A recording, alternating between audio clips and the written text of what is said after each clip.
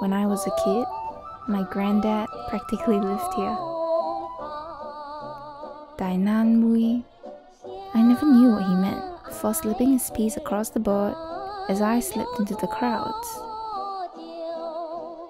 I never went far, if at all. but I went places from that corner. I went to places where streets bustled with activity at all hours of the day. With food,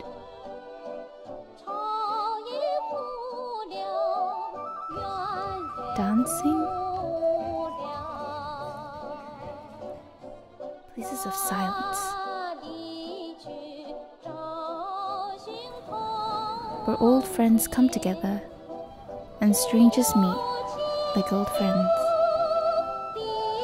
Places that felt a lot like home, away from home, ever changing but constant.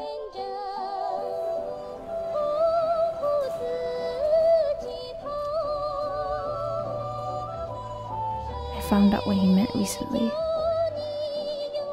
Big eye girl. Big eyes to see the world inside and outside. I don't go to those places so much anymore. But I don't need to. I haven't lost my imagination. I'm still exploring. These days, I still don't have to go very far.